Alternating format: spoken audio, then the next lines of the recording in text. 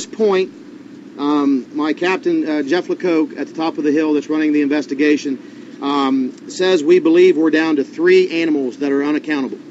Uh, one is a mountain lion, one is a bear, and one is a monkey.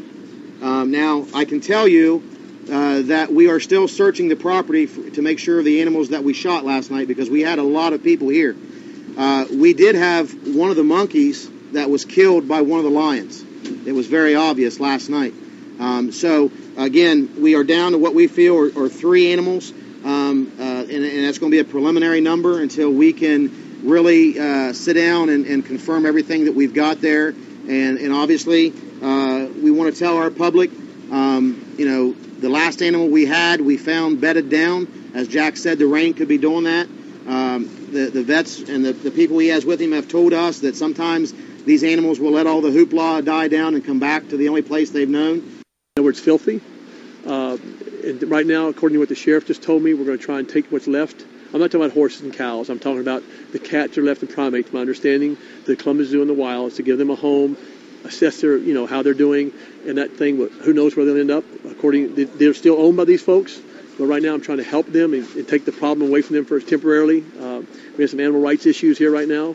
People not understanding why the animals had to be killed last night. You have to understand something. We have human life and animal life. Nobody loves animals more than Jack Hanna. Nobody. But you have human beings involved here. It's dark, right? One of these bears tried to poach the cruisers. I mean, you can't have, there's neighborhoods around here. You can't have bears, lions, tigers, and leopards running around in a neighborhood here. Just cannot be. Uh, and that's what happened. The sheriff had to make the decision. What are you going to do? Have children out running around here and, and lions and tigers running around? It can't be. So we're trying to assess what's left over right now. The man that owns it is dead now, so we can't talk to him. What happened to him? Uh, I, someone said he took his own life. I don't know. That's all rumor, you know. I have no idea. It sounds like maybe he might have cut all the cages, let everything free, and took his own life. Who knows? Maybe somebody did that too. I, I don't know.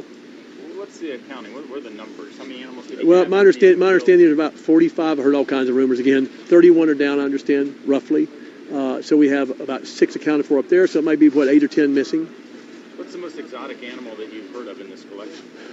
Well, tigers, lions, leopards, bears. What kind I of mean, tigers?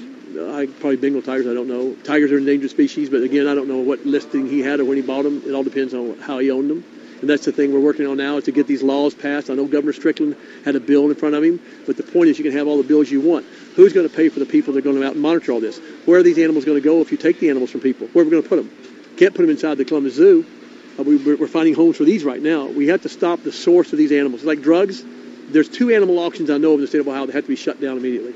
That way, that'll help us. I think that'll solve 75% of the problem when we shut these auctions down.